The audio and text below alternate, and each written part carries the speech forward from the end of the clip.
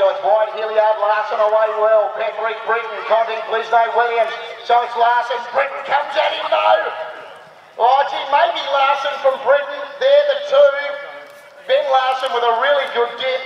Kevin Britton right alongside him. It's another tight finish.